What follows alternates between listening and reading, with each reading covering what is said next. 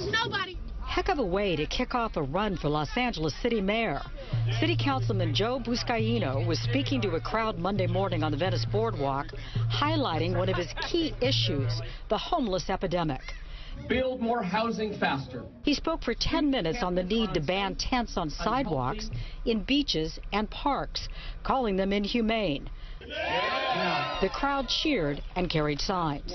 The candidate was working the crowd when someone noticed a woman standing beside the candidate. Drop the knife, drop the knife. Holding a knife and yelling, I'm going to start killing people.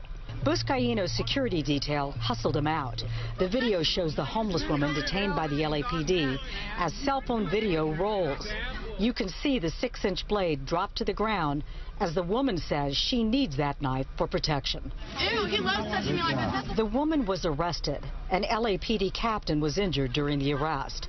Hours later, the councilman, who was not hurt, reflected on what had taken place. They said knife, knife, knife, and they hauled me away. But clearly, she was not in the right mind frame. This is happening in every corner of the city of Los Angeles.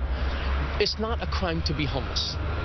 Okay? We, we need to address the issue that we don't arrest people for being homeless. When they start pulling knives, and when there are high crime areas within these dangerous encampments, there are criminal elements for those who are preying on our most vulnerable. Longtime residents along Ocean Park are outraged at the encampments that abound, the money that's spent, and no solutions. We've got more people moving to the beach without any support.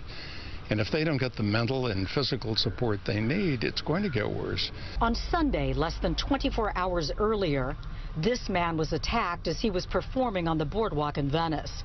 Pictures show his bruises, just one of several recent high-profile incidents, a sign of the continued problems at one of Southern California's most famous beaches. That last victim, 61-year-old John Gavert, I just got off the phone with his sister Lori. She told me that he spent 24 hours in the hospital, that he had a shattered cheekbone. She said that he likes to perform there on the boardwalk. He dances, although she said he doesn't dance very well. But so many people outraged by what they say was a homeless man who came along and socked him so hard with his fist that he had to spend 24 hours in the hospital. Laura Diaz reporting live from Venice. Now back to the studio. Chris and Marla.